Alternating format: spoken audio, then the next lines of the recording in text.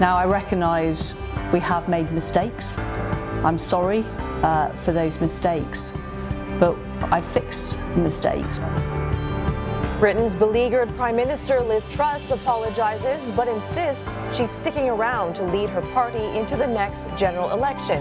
Her newly appointed Finance Minister Jeremy Hunt shreds an economic plan she repeatedly championed. What we are seeking is long-term sustainable increase in the economic growth rate, and that is a central policy of the Prime Minister, which has my wholehearted support. Let's get more insight now into the troubles facing Britain's new Prime Minister. Associate Professor Rob Manwaring with the College of Business, Government and Law at Flinders University joins us now live from Adelaide. Thank you for your time today.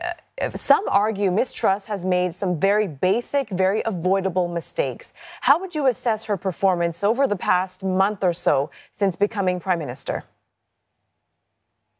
Uh, well, in a word, you'd have to say it's disastrous. Um, she um, only really sort of quite narrowly won the uh, the leadership race at the Conservative Party, and um, she she didn't come first in the in the round with the MPs, and she only picked up about sixty percent of the Tory membership vote, and she came in really with a low tax, sort of high growth, uh, small state strategy, and uh, she came in with then her Chancellor Kwasi Kwarteng they introduced this mini budget with some quite radical measures, including the controversial decision to scrap the top rate of income tax. And since then, it, uh, her premiership has just been beleaguered. Uh, it's been U turn after U turn. Um, she sacked her chancellor really for just um, her, her, first chancellor, we should say, just for introducing her agenda, which which is one that she had set. And now she's been forced to find a another chancellor and indeed, the, the bulk of the statement that came out this week from Jeremy Hunt at time is to reverse, in fact, most of the planned tax changes that Liz Truss has planned. So she's incredibly beleaguered. The polls are not looking very good, and the Conservative Party, if they were to face a general election, uh, would be looking down the electoral abyss. Yeah, and with the Prime Minister facing calls to resign from within her own uh, Conservative Party just six weeks after entering Downing Street. Now, let's get your thoughts a bit more on this mini budget that seems to have caused uh, such a, a, fracas, if you like, uh, that's been walked back now. How did she get it so wrong? Well, I think, um, and where she's, as in your intro uh, also showed, is I mean, she's now apologised in an interview which she's given uh, for saying that she went too fast, too quickly. So I think in her eagerness, in one sense, both to distance herself from uh, the Johnson era, but also I think from the economic agenda that Rishi Sunak, the Chancellor, undertook, she really wanted to commit much more quickly to a kind of low tax uh, agenda.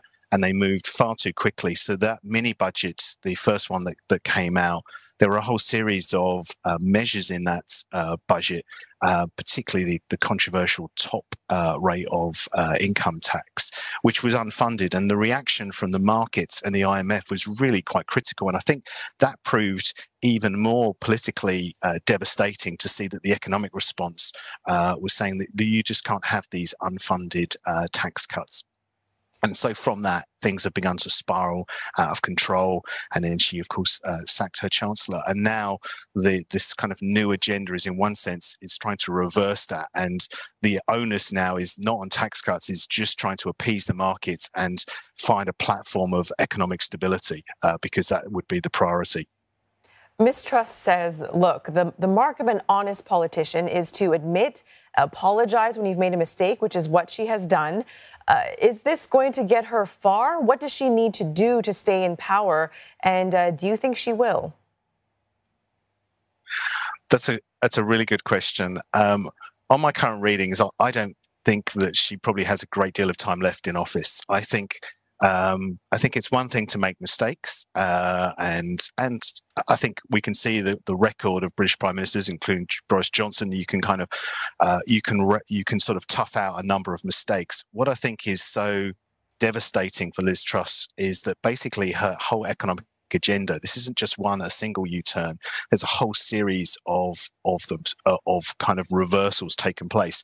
So the budget statement that Jeremy Hunt released this week, for example, there's at least six or seven major key reversals or scrapping of uh, tax policy plans that were in there.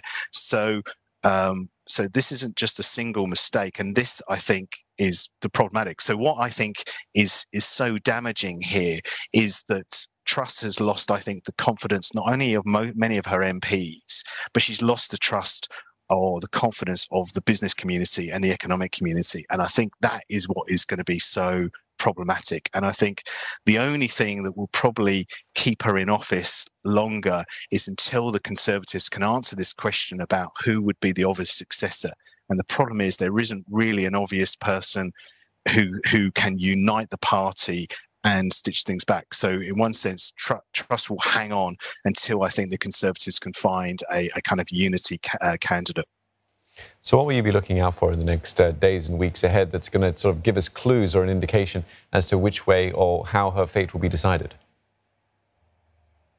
I think that the next probably kind of sets of steps you'll see is that we've seen already five Conservative MPs have called for her resignation, but I think it will be um, critically where senior party grandees step in.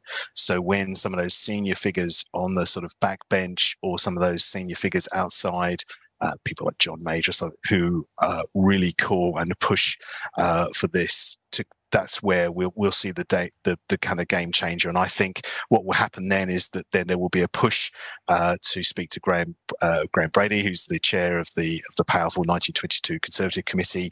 They will look for make rule changes, and I think they were tr- trying to seek to usher in quite quickly a kind of new leader. And the main reason there is that on current polling. Uh, uh Truss is trailing uh, the British Labour Party by about 36% they are they are looking to get absolutely hammered, frankly, at the next election, and and could be down to a bare minimum of just hundred or so uh, MPs, and that I think will be a huge driver to probably uh, change leader. A tumultuous time in British politics. Thank you very much. That was Rob Manwaring of Flinders University. Pleasure.